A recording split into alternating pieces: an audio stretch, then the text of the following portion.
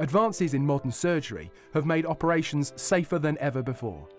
But managing bleeding is still an important part of most procedures. Hemostat powders are a useful tool to prevent blood loss, especially during laparoscopy. The powder makes the blood clot and can be applied easily and precisely using an air spray device.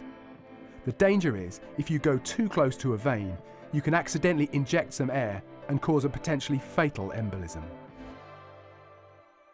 So at Team, we thought we'd design a sprayer which couldn't cause embolism. We also figured it should be disposable and not need connecting to anything. Convesaid is what we came up with. A small battery-powered pump in the device creates a stream of air. This air picks up powder and drives the particles down the thin nozzle towards the tip. Here, the powder particles fly out in a nicely directional spray.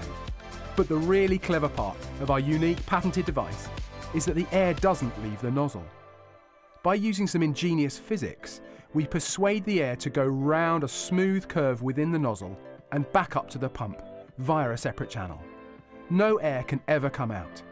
Even if you push the tip into a vein, it can't inject any air, which makes the device intrinsically safe.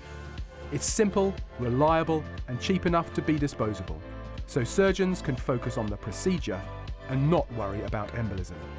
Neat, huh? Get in touch if you'd like to know more about Convesaid or explore whether Team could help develop your new medical products.